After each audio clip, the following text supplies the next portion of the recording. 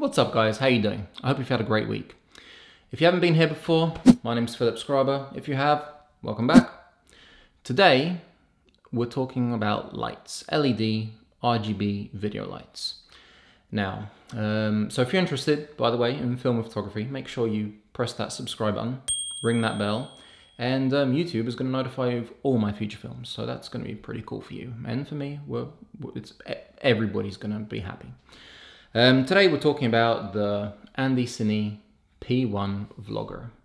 Now, um, one small thing, this is an Andycine light, which Andycine did send me for review. Um, I'm going to try and make this review as honest and as unbiased as possible. Um, this box is almost impossible to open, um, but when you do, it's, oh, what a beautiful light. Ooh! It's beautiful. Um, and they it is that light, but normally on Amazon there's like a sticker right here saying Andycine. Um, I don't have a sticker, so Andycine, if you'd like to send me one, I'll stick it on. At the moment, I'm in the middle of doing um, a whole GoPro accessories guide for YouTube, and I just want to show you guys this. I mean, have you ever seen a GoPro attachment like this? I mean, is that a knuckle duster for a GoPro? Back in the film school days, my good friend Alan, um, he used to have a knuckle duster with him all the time just to make orange squash note out. But I mean, well, anyway, let's roll the intro.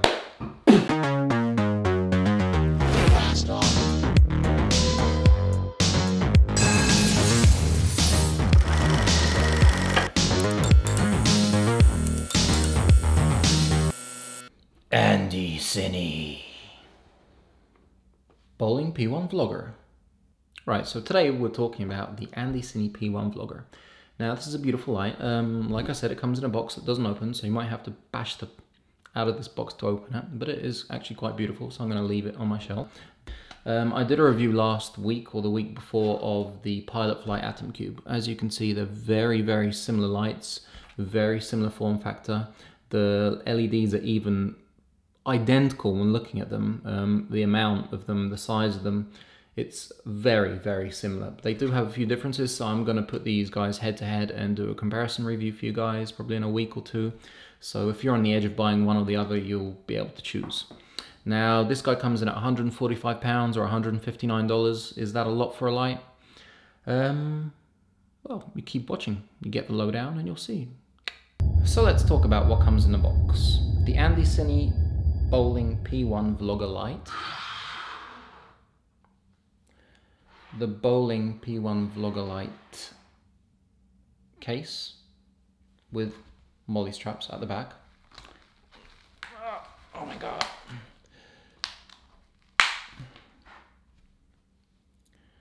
A USB-A to USB-C cable. A snail hot shoe mount a cheat sheet.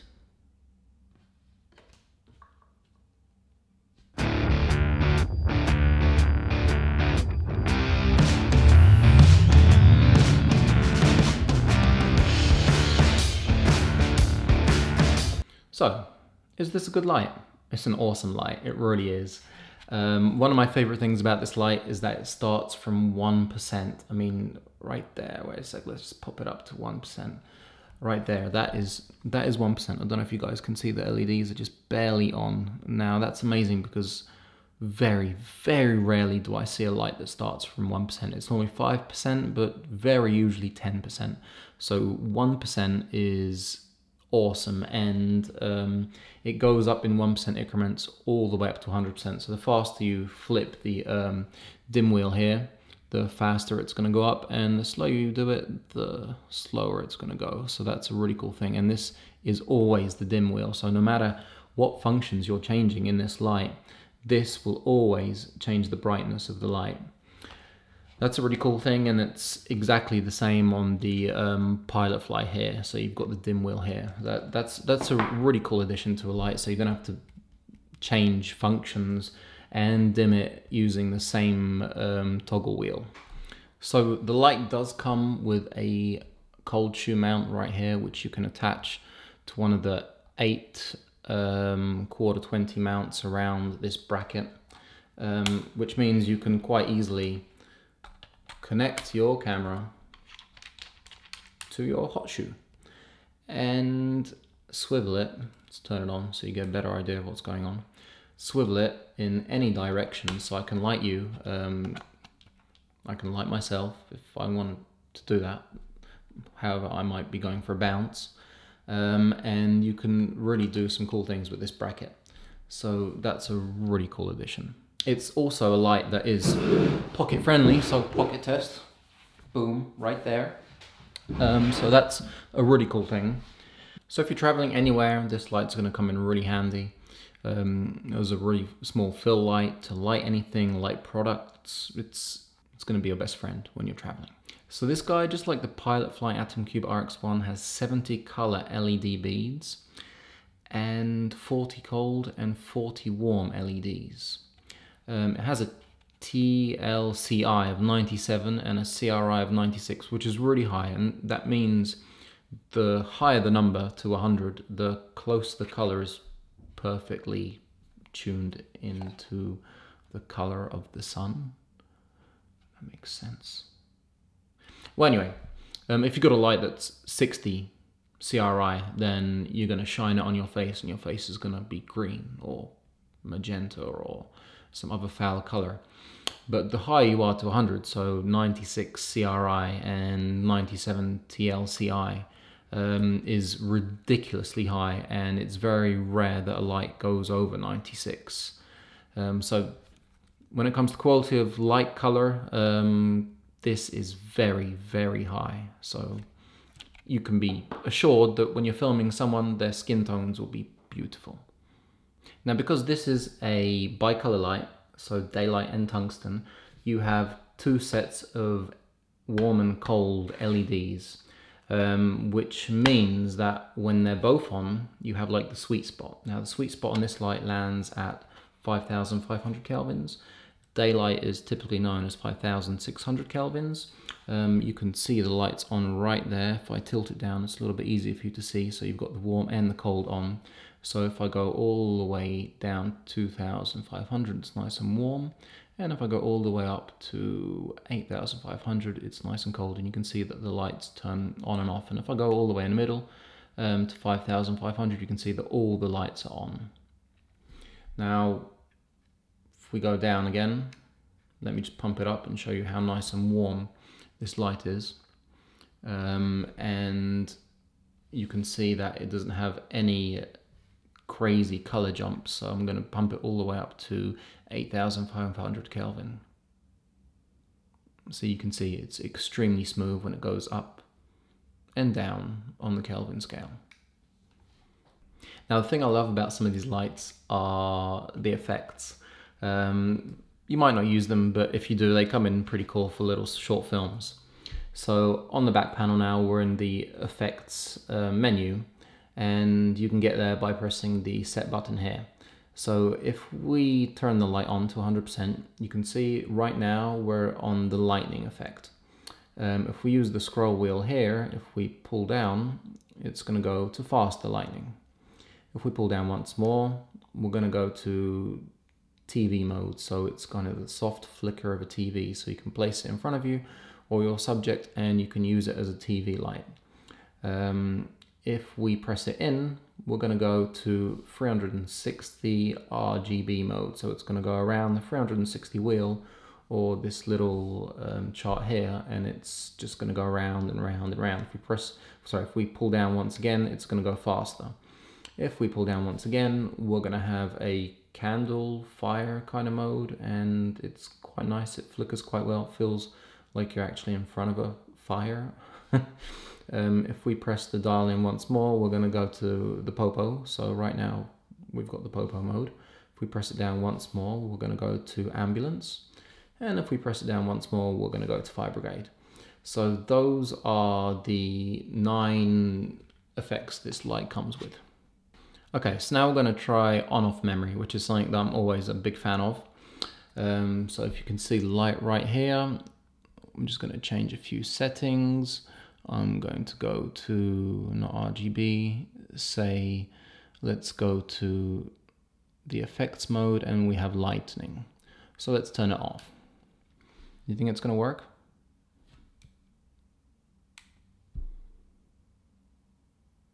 Ah, that's beautiful. This light passed the on off test. So it's got memory, it does remember the last settings. You turn it off, you turn it back on, it's going exactly to where you left it. So in this size comparison, you can see that the Boling P1 is very similar to the iPhone 8 Plus. And here it is next to a credit card sized card. Now we're going to do a comparison next to the Pilotfly Atomcube RX1, which is very, very similar.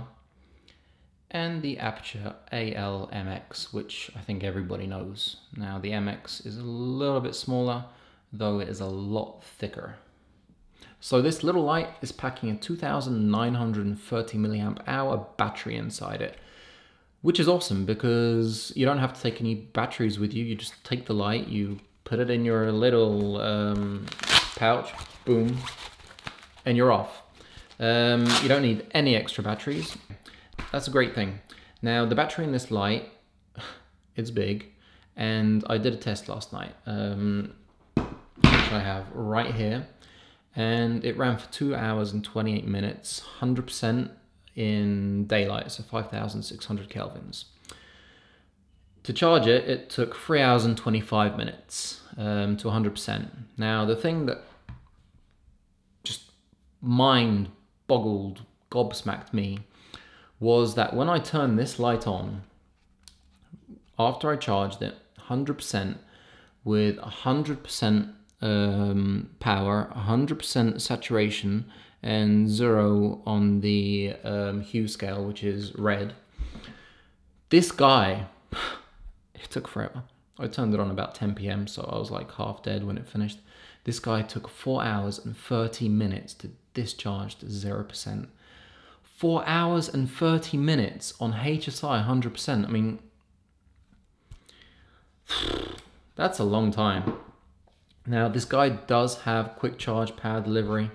Um, though my friend Jared from Jared and Dan, you can catch the film up here somewhere, he did notice when doing his review that using the USB to USB-C cable, um, USB-C to USB-C cable, it will not work. You need to use a USB-C to USB-A cable with a USB-A to USB-C adapter on top of that. And then the power delivery option will work. That's a really weird thing, but um, that's how it works. Durability of this light. Well, it's built just like the Pilotfly. Um, this this light is a tank. It's it's extremely well built. Um, I can't see any flaws in this light when it comes to build quality. It's um, it's a beautiful light. I haven't noticed any flickering issues whilst doing slow motion with this light. Um, so that's a lifesaver because you know what happens when your light starts flickering. You just want to just throw your whole everything you've shot, all your footage in the bin.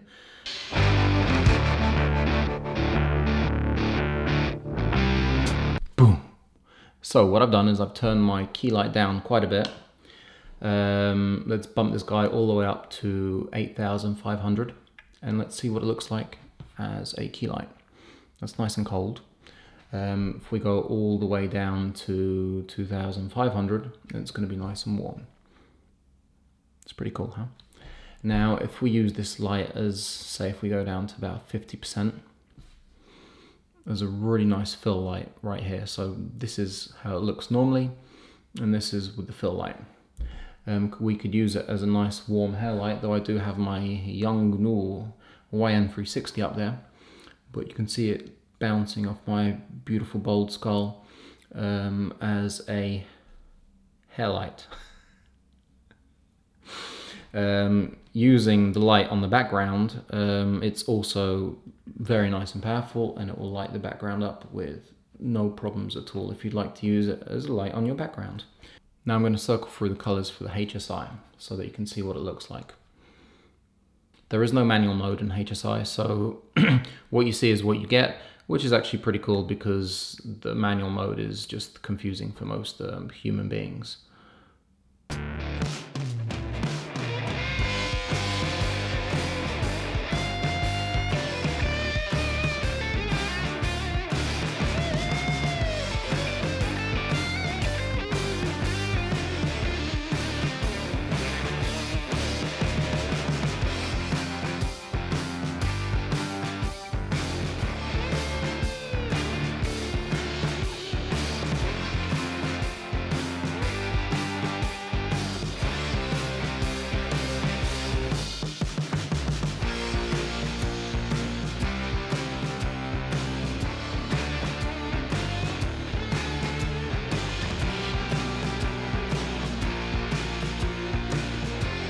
So do I like using this light?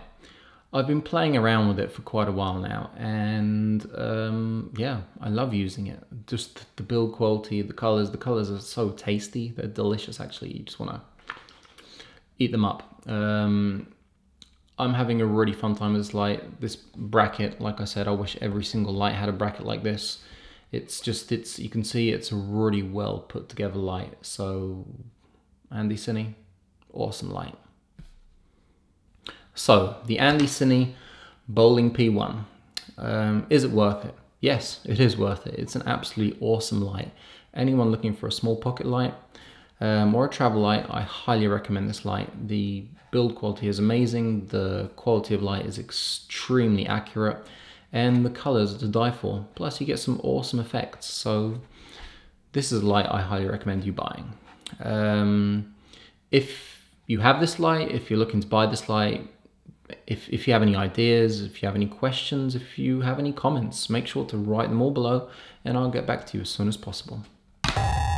So if you like this film, make sure you give me a thumbs up. That's going to help me a lot. Show me some love by hitting that subscribe button and make sure you ring that bell so YouTube keeps you updated as to all my new films. On that note, I'm going to catch you on the other side.